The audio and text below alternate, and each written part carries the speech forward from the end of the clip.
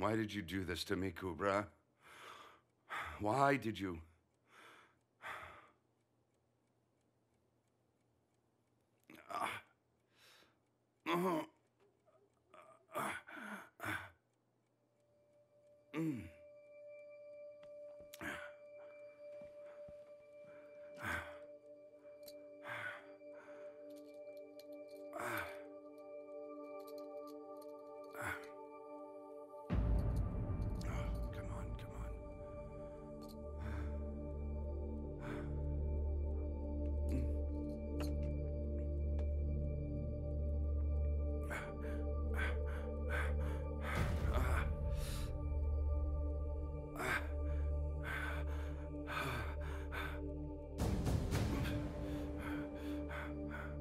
You won't die yet, Sadullah.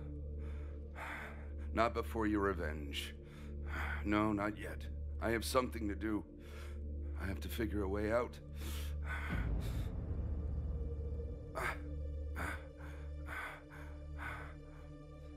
I won't die yet. I have too much to do. I have too much to do. But now, daughter, raising a baby alone isn't easy. You said the father isn't accepting that, right? Mrs. Kevser, it was a surprise for Kubra, too. None of us thought Yigit would disagree. She just thought he would change. I thought it was a great surprise for everyone. I guess that it was. Your pain seemed so real, I guess we all believed it.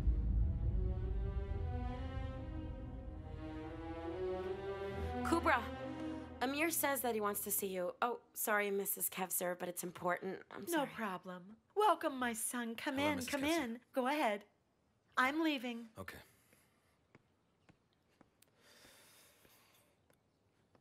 Kubra.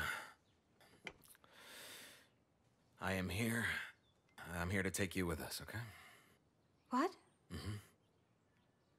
No, I can't do that. Yigit won't accept it. Listen, it's my house too. I mean it. Now you gather up all your stuff, Kubra, and you come with me.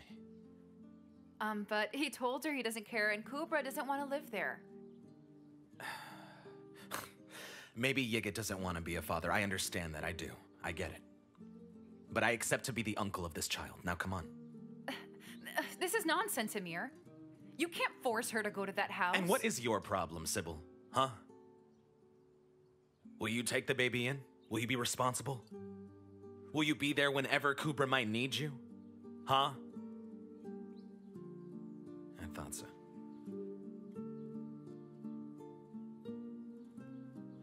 Come on, Kubra. Let's go.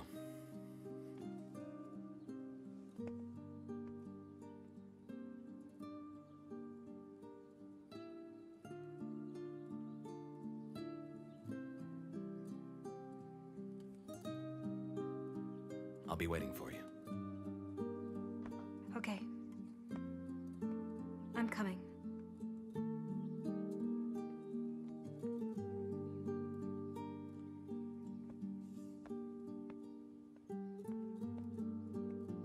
Do you think we can afford a child? A baby needs a lot. It's hard enough for us.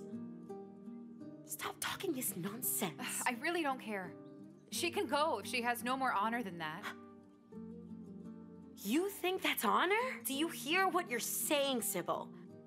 She has no job, of course, and now she has no home anymore. She has nobody to help, and you're acting strange.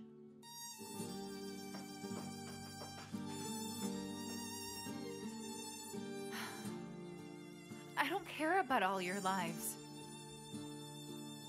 I don't care. Here, let me do it.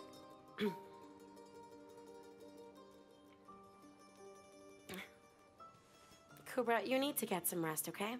You didn't sleep. Come on, here you go. Now you just rest. Derya and I will take care of all your things, don't you worry. It's okay. Why did you come, Emir? Get back to work. I'll take care of this. No, don't go to her house alone. Come on. Let's go together, okay? Mm-hmm. Come on, get some rest, Kubra.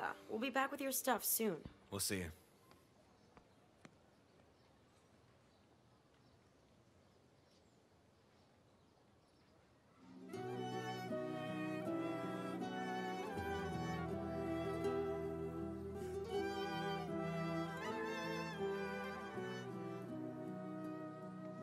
I'll go in by myself, okay? I can do it.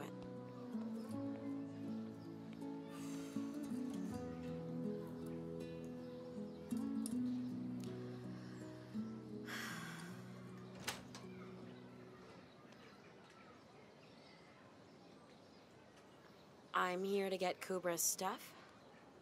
Well, that's a good thing. Because I don't want to have anything to do with her in my house. Fine. So, can I come in now?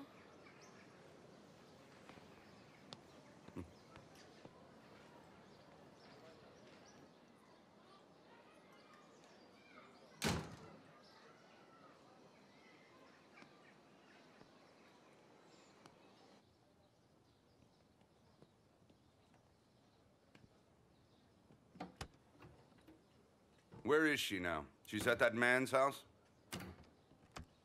She has a place, so don't you worry. I hope she'll be punished as well. Don't be so rude, Sadullah.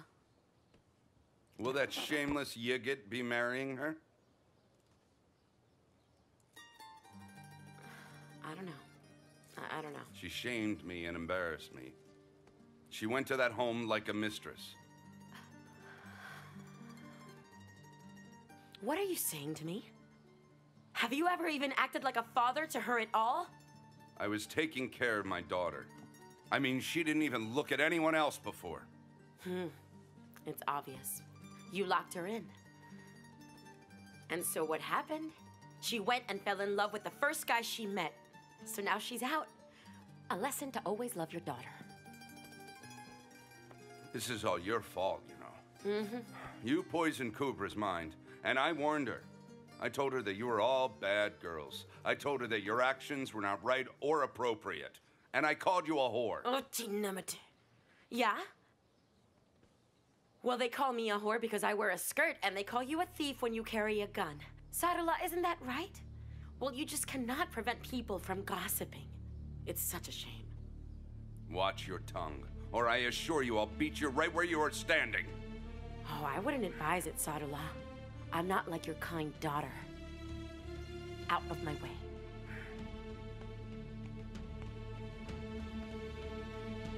You tell Kubra, you hear, that she can't come here after that Yigit kicks her out of his house.